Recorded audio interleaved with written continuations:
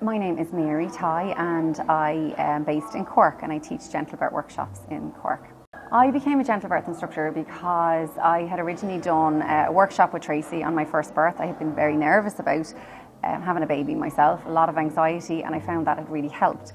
And Tracy was developing gentle birth uh, training, and I just was so impressed with her knowledge and uh, the fact that she was always looking for the most up to date information and the ideas that she had for gentle birth. I just thought this is what couples need. I wanted to spread the word and let everybody know about this amazing workshop.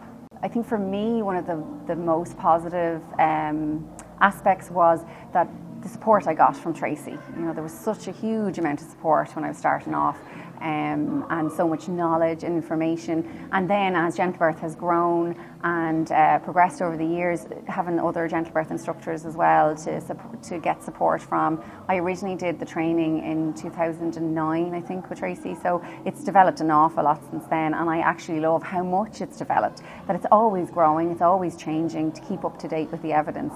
So, um, and that's thanks to Tracy. She's great support. The workshops is seeing like that, seeing the couples come in and they're nervous, and the partners are like, "Why am I here?" and they're very skeptical about what they're going to do. And by the end of the two days, they feel a lot of them feel like super dads that they can do this. Some of them are like, "Yeah, let's have the baby now," because they're so confident.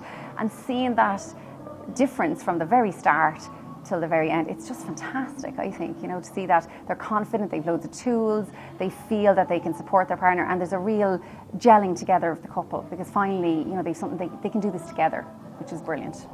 I think the tools that we offer the parents uh, for their journey towards birth and pregnancy are also fantastic tools as parents, so I use them myself.